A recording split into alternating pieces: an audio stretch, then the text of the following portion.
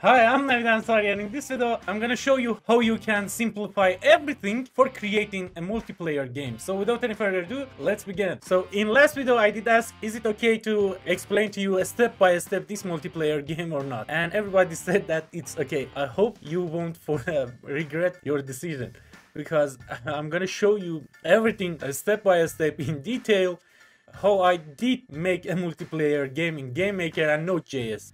So you know that for creating a multiplayer game, it's getting messy too fast because you're doing it in two places. One is Node.js and one is GameMaker. And you're not just controlling one player, there may be 10 player at the time, right? So you should make everything as simple as possible, okay? So for sending the data, we create a socket, we connect it to our server and we create a buffer and in a step for sending a simple data like J or whatever, we say buffer seek, buffer write and network send UDP raw. And if we want to do this every time that we want to sync everything, it, it will get too messy and sometimes you don't want to just send a character to the server like you did see in client project, we create again socket, we connect it and we create a buffer and we create a map. And in step, we add the values that we want to send to server in our map. We convert it to json and after that we clear our map and after that we send it by this line of code. The receiving data was this messy. Everything is messy right now. It's not okay. If you want to do it like this you can for a simple project with just 10 player for example. But when your project get bigger and bigger I don't think that you can do it this way. You should make everything more simple. So I come up with this system that it works for me in PHP, in Node.js, in Unity, in Unreal Engine, in microcontroller, in C, in C++, in C Sharp, in everything. It works for me. And I think this is a way that all the pro is doing it. You know that my background is C for microcontrollers and I work as a programmer for micro a microcontroller. If you don't know what microcontroller is, don't mind it, it's not important for you. But when you come from that low level language to game maker language and Node.js language, you can make your life very much easier to use those skills. So I want to show you. First of all, I want to create a function for sending data. And let me show you in client, we send a JSON. But to be precise, we send a map. So we create a map, add value to it, and we convert it to JSON. So first of all, let's just create a function for sending a map. In here, I want to create a script. I want to call it scr multiplayer or whatever you want to call it. You can call it scr online. And the first function, because I want to send map to our server, we can say send map over UDP. It's self-explanatory, it doesn't need comment. So with this function, first of all, let's just copy and paste whatever we want. First of all, we need to create a socket, right? But where should we create it? Um, we can't create a new socket every time. At some point, we should destroy this socket, right? I want to show you a way to create this socket and after the game is finished, destroy that socket. Just one socket for all the functionality for your multiplayer game. Just one socket. So for that, um, I want to create object, an object in here. I want to call it obj global. Okay.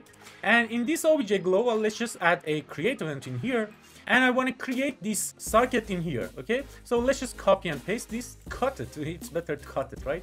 So cut it in, uh, and paste it in this obj global. So all the variables that are global, I want to put, put it in this obj global, okay? And whatever variable that I want to create in here, I want to make it global as well. And now we have the socket, okay? So we have our socket. So let's just get back to this send map over UDP. Next is to connect this socket to our server. So let's just cut this line and put it in here.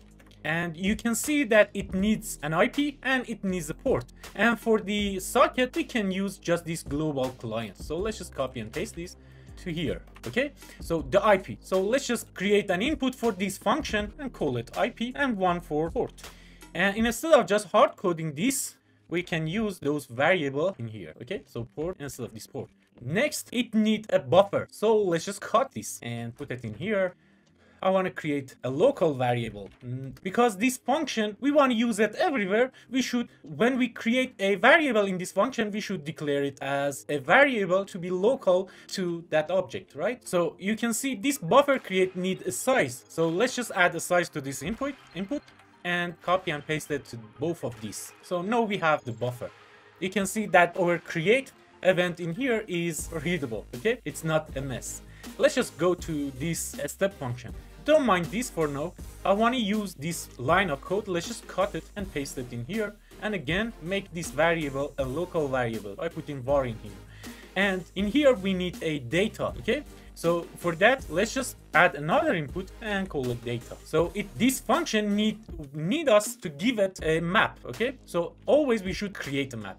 But calling it data, it's not self-explanatory, okay? So let's just change the name of it to the map, okay?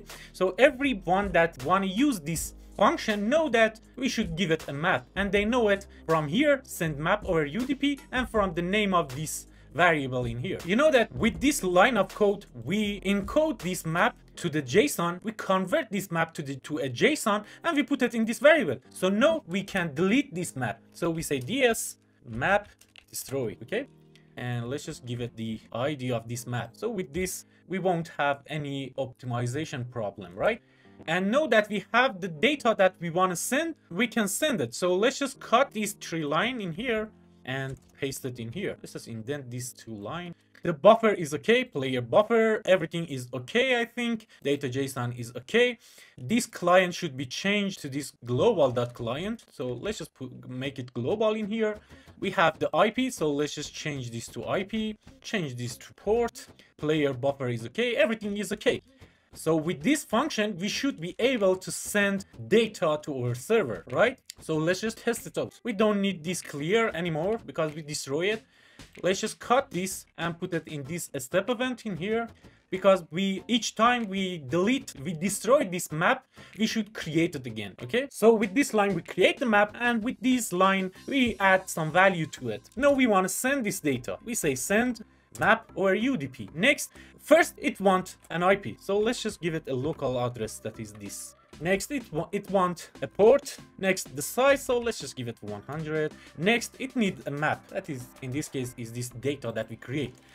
So all that we have done, we can just delete this create for now. Now you can see that our code is much cleaner and it's easy to read and easy to develop, right? So let's just test it out. We want to send data to port 8080. We send the X, Y, and ID of this. So in here, I want to say console.log and in here, I want to show the message. So we say a string msg. So with this, we show the message, right? So now that we have this, let's just open up our terminal in here and run our server. For that, we say node test JS. Okay, so now our server is running. Let's just test to see if this is working or not.